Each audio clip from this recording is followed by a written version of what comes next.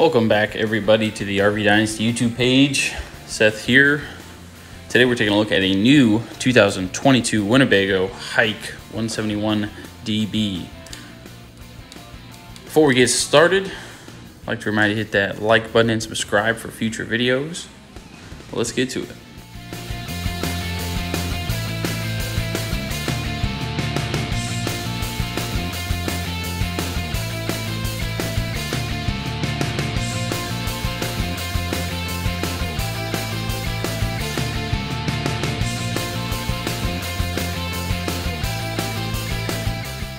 This 171 DB is a great little getaway for two people with a 44 by 74 inch U-shaped dinette in the back with a single slide with a wardrobe and a refrigerator, microwave, a two burner stove, the sink, um, and then you've also got that 60 by 74 inch bed in the front.